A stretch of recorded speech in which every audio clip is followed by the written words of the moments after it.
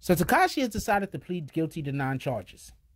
And uh, there's a portion of this video that is actually, shout out to TMZ, portion of this video that's actually about the article that TMZ wrote about the nine charges that he decided to plead guilty on. Then there's another portion of the video that's about the difference between snitching and cooperating. And then there's a small portion of this video is explaining why he cooperated.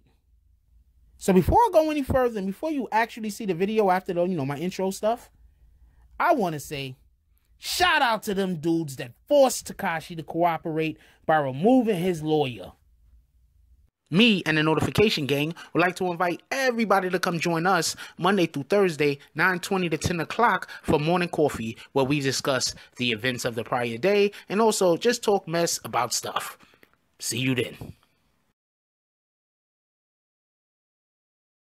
Hey, don't forget to check out the link of the day in the description.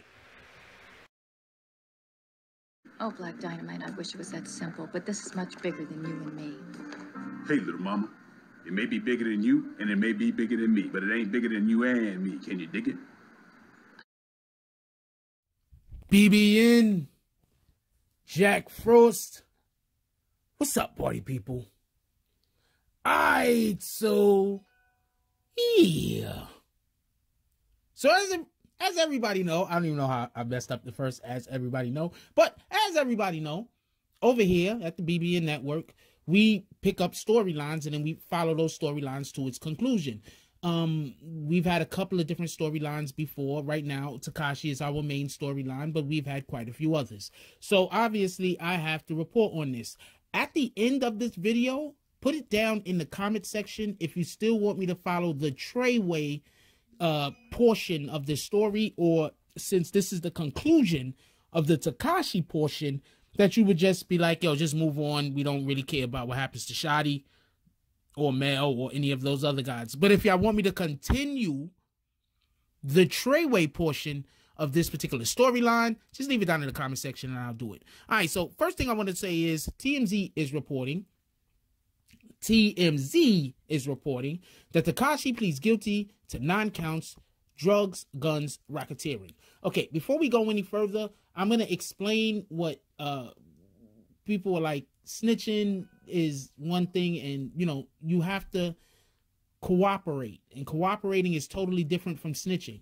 But cooperating can work in the same way that snitching can work. So I just want to say that first because in multiple other videos, I said I don't think Tekashi is snitching, but I do believe that he's cooperating. We had Snow Billy on the show the other night. I asked Snow Billy, was Tekashi snitching? Tekashi, uh, Snow Billy said Tekashi is cooperating.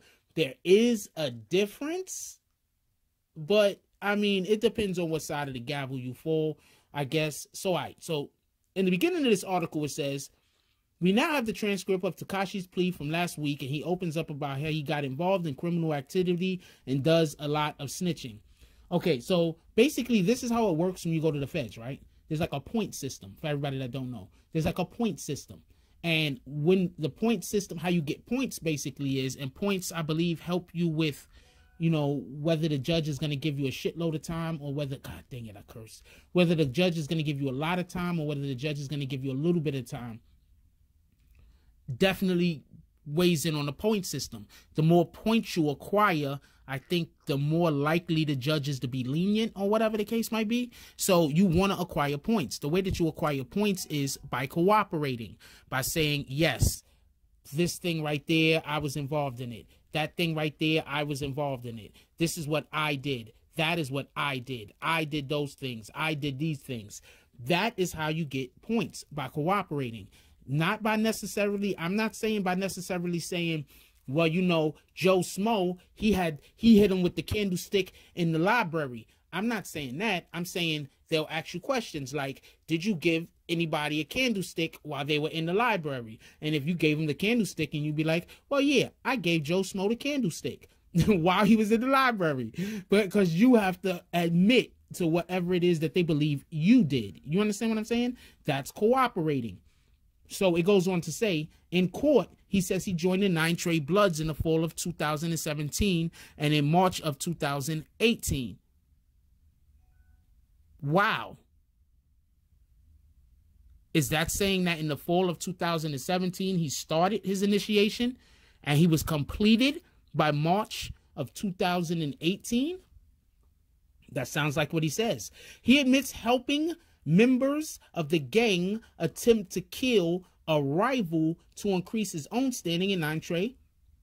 Then on April 3rd, he says he ordered another member attempt robbed at a rival at gunpoint. On uh, April 3rd, he says he ordered other members robbed. This is just, I don't know. They, they need to, what in the hell? The, I don't know if the punctuation is bad. On Then on April 3rd, he says he and other members, yeah, I just missed that second he, robbed the rival at gunpoint. I'm sorry about that, y'all. So, uh, so basically, once again, you have to admit to your crimes. You understand what I'm saying? You, you, they already got you in your mind. You have to admit to your crimes. And, and by the way, wait until what I have to say after all of this, and you'll realize why he actually did this. Because I'm going to tell you why he decided to uh, cooperate.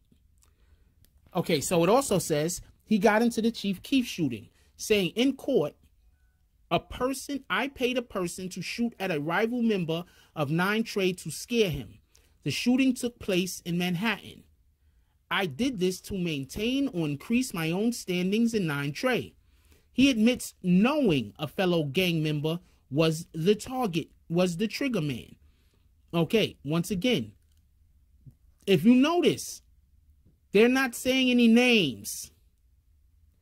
Tekashi also admits to selling a kilo of heroin in 2017 and offer an apology for all his crimes, saying, I apologize to the court and to anyone who was hurt, to my family and friends and fans for what I have done and who I have let down.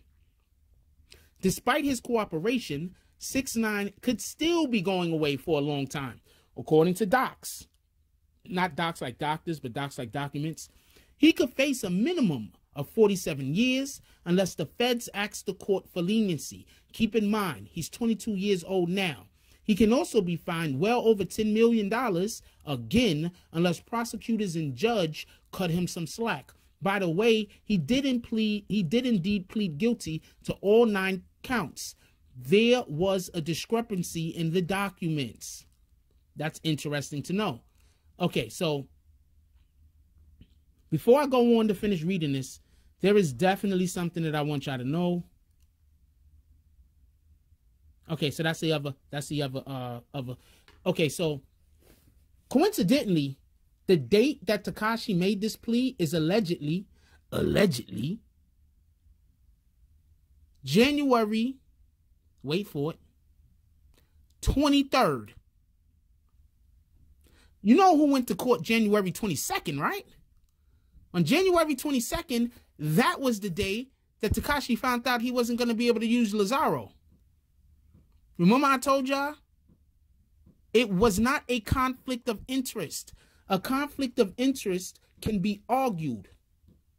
You cannot argue against you know, uh, to, to do away with client attorney privilege. That was the issue. I do not know what everybody else was talking about. I was actually in the courtroom. I'm guessing some of these people weren't in the courtroom and other people just assumed. That's all I can guess. But the judge said that the problem was attorney client privilege. That's what the judge said. The judge did not say conflict of interest, although obviously there is a conflict of interest. It's just that attorney client privilege supersedes that. That's the first thing I want to say. The second thing I want to say is this. If he doesn't lose Lazario on the 22nd and Lazario knows he's off the, you should have seen how steaming mad Lazario was when he walked out that courtroom. Y'all don't understand. The judge lit into him. Like, you know better than this. Like this, this isn't even this isn't a mistake a a a, a, a two year attorney is gonna make. An attorney that just got out of attorney school, an attorney that attorney school, attorney that just passed the bar, got out of law school, obviously, just passed the bar, wouldn't make a mistake like this. You know better. He talked to him like he was a little kid, like he was scolding him in front of all of his peers. That dude was embarrassed. Anyway, so he he ran out the courtroom. He was very upset. He was pissed. You could see it on his face. So upon Tekashi losing his attorney and they were gonna fight, he had no choice but to but but but to um make a deal. He had no choice. He had no choice. You get it? Everybody else already had the good lawyers. He had no choice. He lost his attorney on the 22nd. He copped on the 23rd. And that's why nobody could make it to the courtroom. That's why nobody knew about it.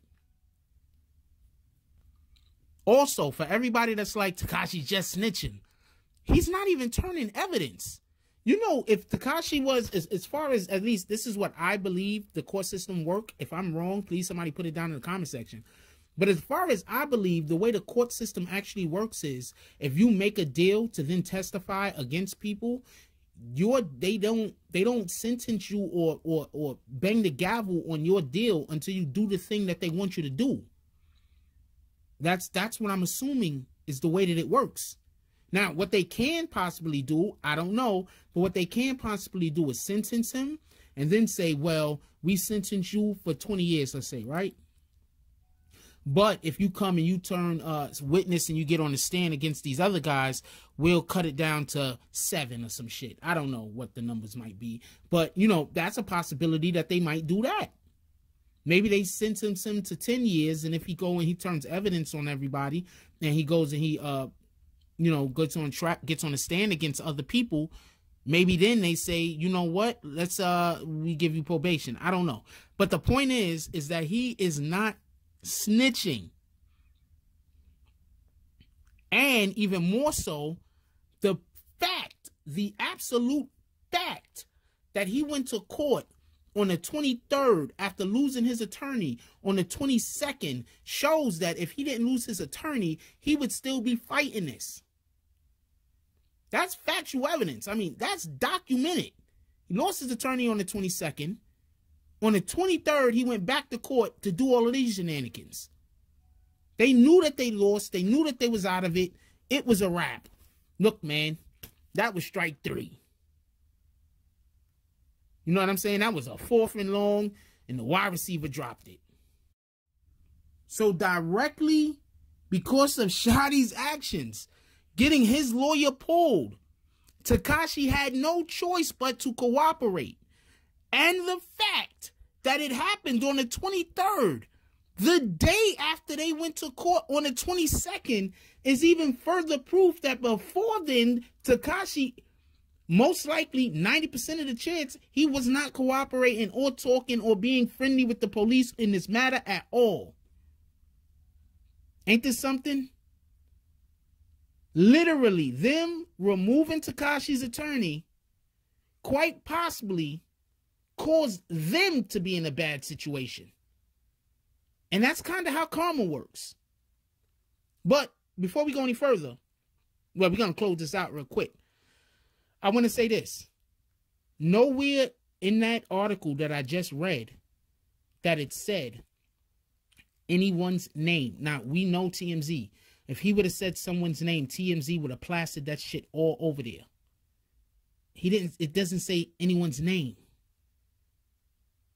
It just says, yes, I did this thing and I did it with this gang. I did it with a gang member. I did that other thing and I did it with a different gang member.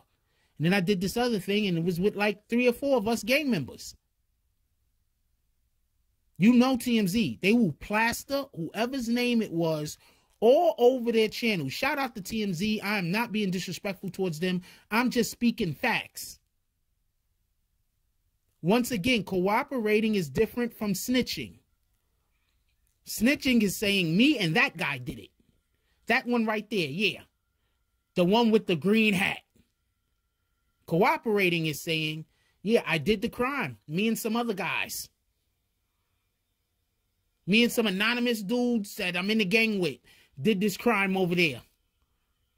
That's cooperating. which you have to do in order to get a deal that he had to take because they had his attorney removed. Yeah. Shout out to those guys.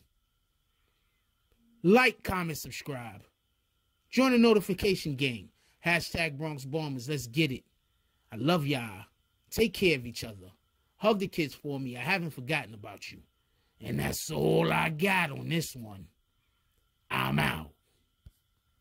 If you like this video, please hit the like and subscribe button. If you would like to help dictate the direction that this channel takes, please leave a comment. All comments are appreciated, whether positive or negative. Thank you very much and enjoy your day. And remember, positive thoughts cause for positive things to happen. Let's get it.